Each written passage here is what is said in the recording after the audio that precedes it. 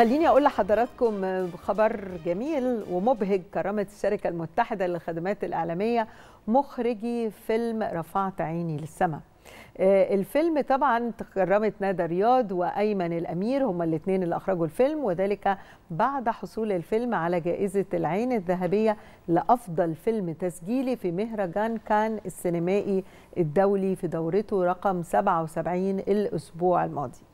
وطبعا خلال التكريم أشار الأستاذ عمرو الفقي الرئيس التنفيذي والعضو المنتدب لشركة المتحدة للخدمات الإعلامية إلى أن الشركة شركة المتحدة تضع دعم ورعاية للمبدعين في قمة أولوياتها وده لدورهم الهام في صناعة الوعي والحفاظ على ريادة الدولة المصرية في كافة مجالات الفنون وخاصة الدراما والسينما.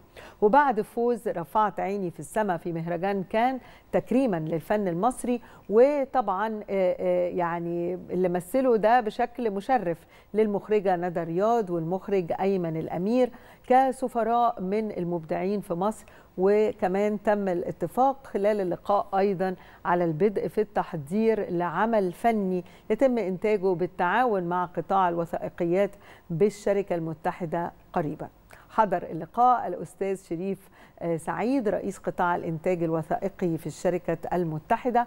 وكمان زي ما أنتم عارفين فيلم رفعت عيني للسماء هو أول فيلم مصري يحصل على الجائزة ضمن فعاليات مهرجان كان السينمائي. والفيلم على فكرة من بطولة فريق مسرح بانوراما بالصعيد. وهو بيتكلم على فكرة على فرقة بنات مسرحية. وده الحقيقة الموضوع الحقيقة جذاب جدا. وطبعا الفريق هم ماجدة مسعود وهايدي سامح ومونيكا يوسف ومارينا سمير ومريم نصار وليديا هارون ويوستينا أو يوستينا سمير مؤسسة الفريق.